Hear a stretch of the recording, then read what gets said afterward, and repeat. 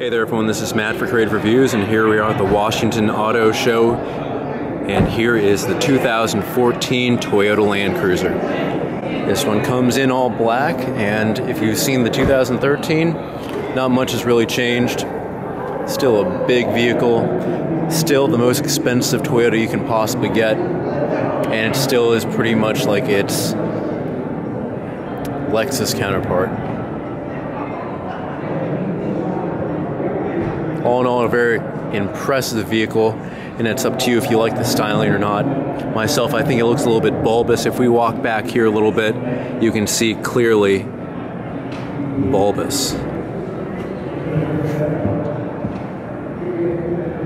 Let's take a look at this beautiful interior on the most expensive Toyota that you can get starting at $78,000.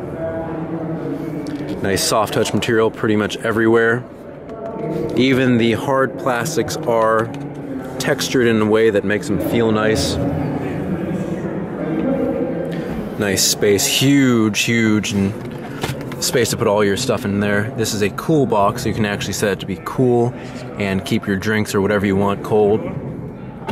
There's your obligatory giant touchscreen that every car should have at this point. And as you can see back there, we have our two rows of seats. So you definitely have a lot of room. Unfortunately, I only see one sunroof here in this car. They should have it panoramic, but I see right there, you have your DVD player, which will have to be, you have to go either or in that case. Again, 78,755 and it gets 13 city, 18 highway, so you'll be paying a gas as tax.